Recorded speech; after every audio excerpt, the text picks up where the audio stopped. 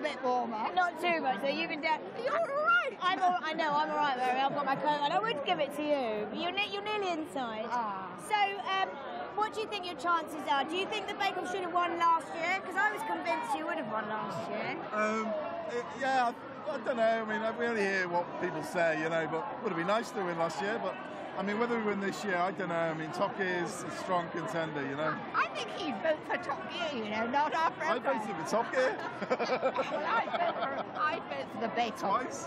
Have you rehearsed your speech if you do win? No. Why? Never. Because you think that jinxes it or something? No, I just no.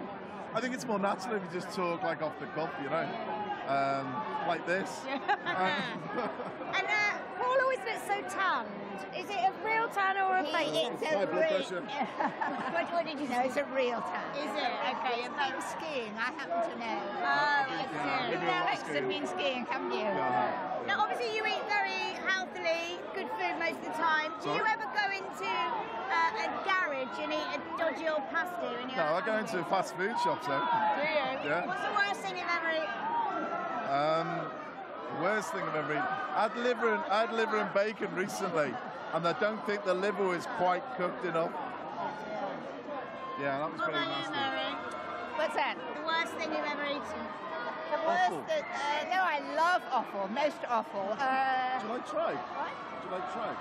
Uh, I like the first taste of tripe, but after that, I don't like it I don't think anymore. I'd like it. Try. Anyway, you look gorgeous. Good luck tonight. I'll be rooting for you. Thank-